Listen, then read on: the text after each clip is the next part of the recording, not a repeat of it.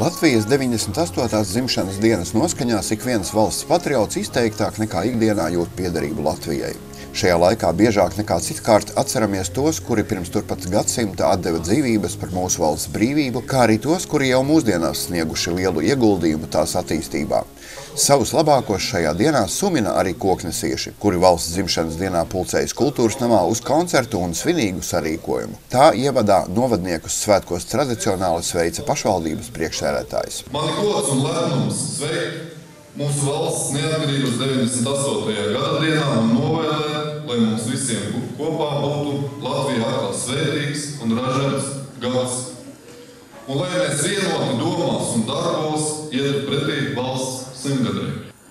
Un varbūt beidzot ir pienācis laiks stalt izslieties, kā to spēja mūsu brīvības cīnītāji un pajautāt sev, ko es varu ziedot savai Latvijai. Pasākuma laikā labākajiem, centīgākajiem un patriotiskākajiem novada iedzīvotājiem tika pasniegtas kokneses goda pilsoņa apliecības un goda zīmes. Apbalvojumu par ilgadēju darbu jaunās paudzes izglītošanā un audzināšanā saņēma vecbebru profesionālās un vispār izglītojušās internāta vidusskolas direktoras vietniece Mudīte Auliņa, kā arī Ilmāra Gaiša kokneses vidusskolas ķīmijas skolotāja Ludmila Čudarāne. Kokneses goda pilsoņa nosaukumu saņēma arī Bebru pamatskolas skolotāja Dzintra Sniedze, kura 36 gadus veltījusi pedagoga darbām, kā arī fotografijās iemūžina Bebru pagasta un Kokneses novada pasākumus, apkopo un sistematizē Bebru pamatskolas vēsturi.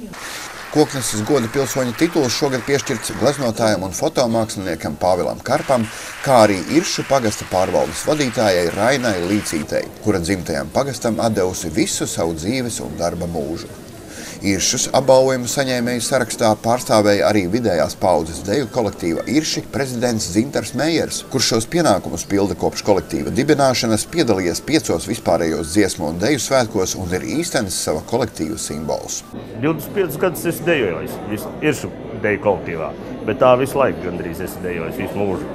Tas jāsaka jau ir kā slimība, patīkama, protams, ka, ka tu vari iet un savu laiku veltīt patīkamai nodarbei, ar ko tu vari iepriecināt arī citus cilvēkus. Tik augstu novērtējumu es ne, nebiju gaidījis. Un pats nejūtos to pelnījis, bet, nu, ja man novērtē un saka, tik augstu novērtēšu manu darbu, nu, tad es ļoti pateicīgs par šo augstu novērtējumu.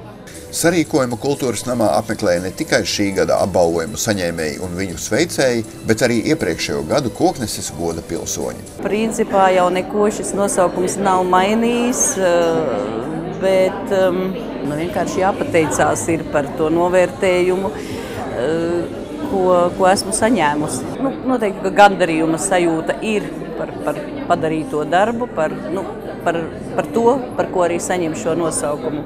Ir tāds gandarījums un jūti, ka atzīst cilvēki to, ko dari. Dod jau par padarīto darbu, ne par to, ko tagad atpelnījis nākotnē. Godīgi strādāja savā profesijā. Neatlaidīgi, godīgi. Darbs, darbs un darbs. Svinīgo valsts svētkiem veltīto pasākumu ar dziesmām no koncerta programmas Paauklē Saulīt manu zemīti kuplināja mūziķi Kristīne Dina Bitēna un Atvars Sirmais.